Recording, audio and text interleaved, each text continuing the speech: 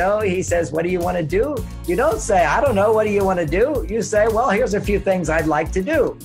It's not, he says, Oh, what do you want to do? Most women go, I don't know, what do you want to do? Stop, stop. Know you're making him doing what he wants. Don't do what he wants. Even if, even in the beginning, he wants to do this. If you've got something you do better, tell him, Well, we can do that, but I prefer this. This is what I really like, you know. If we go there, I'd feel really good. I'd love that. And then he kind of goes, Well, I don't want to do that. But if it makes you happy, then I want to do it. Now, let's just stop right there. That is such a confusing concept, and it probably went over many women's head. He'll say, Do you want to go? Let's say that I would like to go have a picnic on the mountain. Okay, that's what I'd like to do.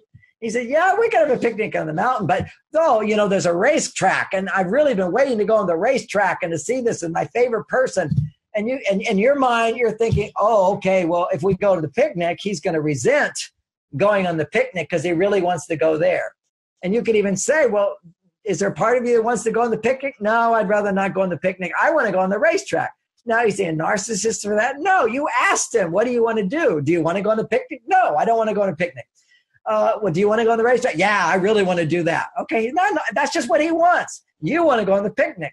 But in that situation, you imagine that if you insist on the picnic, that he's going to resent you for going on the picnic. And who wants to go on a picnic with somebody when they don't want to be on the picnic? That's what women are always saying. I don't want to go on a picnic if you don't want to go on the picnic. Right. I want to do what you want to do. No, you want him to want what you want. But men don't always want what you want. So how do you get what you want? Here's the secret.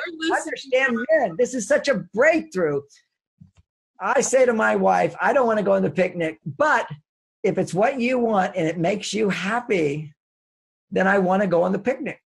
Now, that doesn't make sense to women. How could I suddenly change what I want? Because I don't want to go on the picnic. But if I know taking you on a picnic is going to make you happy, what I want more than the racetrack is to make you happy. Therefore, if taking you on the picnic makes you happy, I now want to take you to the picnic and I will enjoy the picnic as much as you enjoy it because it's making you happy. And that's not a facility that women have. Okay. It's like woman says, okay, I'll go to the racetrack for you. And oh, if it makes you happy, I'll do that. And you can do that for a little while.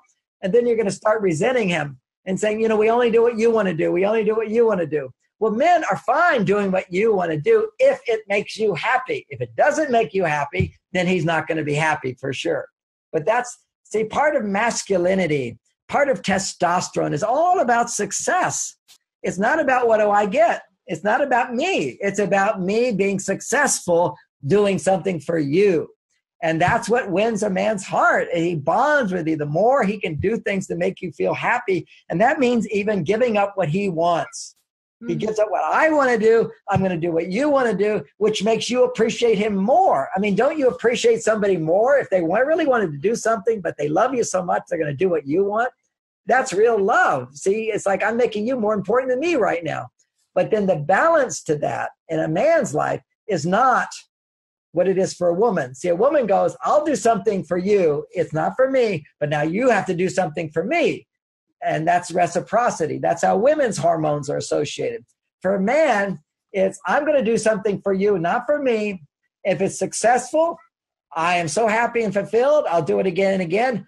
And I'm also going to take time to do things for myself. I've earned the right to have my own things I want to do. So that's how we, you know, I go work for my family. I come home and I do what I want to do for me. And then I also do what I want for my wife and my children. It's all this balance of work, giving to my wife and children, and giving to me. And that balance has to be there for men as and, and that has to be there for women.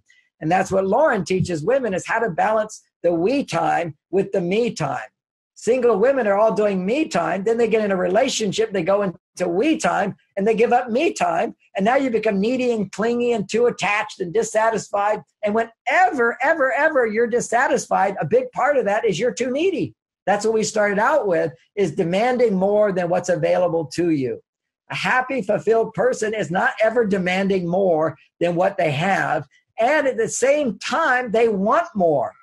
Now, that's a paradox for women. Yeah. It's hard to understand, but we have to just say it again, which is I'm happy with what I have and I want more. that comes back to my basic dating theme, which is don't look for your soulmate. Create a series of dating experiences where you're able to see what you like and what you don't like. You're feeding your consciousness with what I like and what I don't like, not because you're writing a list or doing a therapy session. You're actually experiencing it. What I like, what I don't like. In the context of soon, in a year, the right person is going to come into my life with almost everything I like and almost everything I don't like is not there. And I'll give you an example of that. My daughter Lauren, uh, she's uh, 31 now, and she's been looking for a house uh, for the last three years. And almost every Sunday when I'm in town, we will go look for houses and her partner. And we're all looking and we look at the house and we see what she likes and what she doesn't like. And I said, You just keep doing this and you'll see the right house will show up and the money will be there for it as well. It will just happen. And she went for she trusts her dad. She says, All I have to do is just keep looking and say what I like and what I don't like, what I like and what I don't like, what I like and what I don't like. And it happened. She found the perfect house of what she every I mean, it's amazing to hear she needed a certain number of rooms, she needed the room here, she needed this, everything needed to be exactly the right. And then she found the house that has that and something more. She couldn't even believe it was there that she didn't even imagine. And you know, that's what Oprah said. I remember Oprah saying, if you just stick with trusting and and and doing what you can do, moves one step at a time, you will be rewarded more than you can imagine. But part of that whole journey is what do I like? What do I not like? Without this emotional charge of, oh, I'll never get what I want and, oh, I didn't get what it was and, and being critical about it. No, it's just seeing what you like, seeing what you don't like, go on another date, what you like, what you don't like, uh, constantly appreciating what you like but you can't fully appreciate what you like if you're not also looking at what you don't like. But you can't even see what you like if you're in that hyper vigilant state of, I want to buy this house. So I told her, we're not going to buy any houses. We're just going to keep doing, looking and looking and looking to get very clear about what you like and what you don't like. And it's all in the realm of like and don't like. There's not a lot of attachment to either, but this is what would be good, this would be good. And then bang, it appears and it's at the right time, right when she could afford it. I mean, it was like amazing the timing and the perfection of it. The way I found my house, and then I'll go into how I found my wife. But you know, it's finding the right person is another big big question. You know, how do you find a person, start dating? But once you're dating, you're committed. That's stage three. Stage four is is this really the right person for you to get married to? You know, is it a soulmate? Do you really stick with this and grow with this person? And you know, you use the house analogy. I mean, for me, I was looking for a house, and when I could afford more money, for the house I'm in now, I've been here now 20 years. The the uh, the way I looked for three years, I was looking every house. I know almost every house in Mill Valley because there was all, it's all been for sale. And I go in, I go, I like this, I don't like this, and it was a couple of years for me. And then finally, what I did is I just I went and I said, you know, I'm going to go find the best place in town that I would like to live in the most. And I, I went there and and I saw the house that I would like the most, and I went and knocked on the door, and uh, the house was not on the market, but it was for sale, and it was for a certain number of reasons it was for sale for about half price. So because I went and found the house and called the person in another state and said, "Can I buy your house?"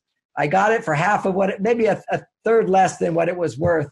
Uh, simply because I was ready. I knew what I want. I looked at it and said, You are the one and but it was because I knew what I didn't like and what I like. And all the things I didn't like was not like I resent or I don't trust or that's awful. There wasn't any negativity associated with it.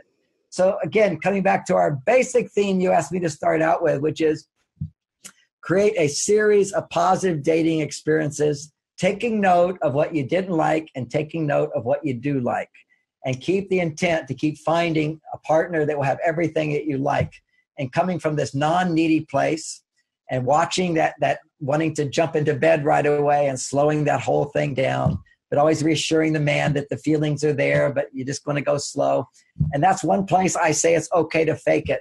If you're with if the right guy you may not feel any sexual attraction right away. And if he's like making moves and stuff but don't you feel sexual towards me? And you can give him a little comfort and, and say yes I would love to have sex with you. I'm just not ready. And in your mind, you're telling the truth because you would say, I would love to have sex with you if those feelings were there. But you don't have to tell them those feelings aren't yet there. Uh, you just, it's a little bit implied, which I need to go slow and I'm ready to go. But if, boy, if those feelings are there, you can certainly say it, but then hold back till you have bonding with the heart and the mind and maybe a little bit more on the spirit. Spiritual bonding is where you share the same values. Mental bonding is often where you have differences, different point of view that's interesting to you. You know, somebody's just thinking just like you, it's not interesting. If something is adding something to you, and often the right person for you doesn't doesn't do everything the same as you. The chemistry of opposites attract. If you're looking for someone who's just like you all the time, it would be boring. And it also doesn't help your soul to grow. It's learning to challenge to integrate something different into your life, which means that there'll always be an attraction. And it starts out as you find them interesting. And then it's on the level of the heart where you start finding things which are similar and where you share things. And but for man, that's the level where you need to do things and you see you make an impact.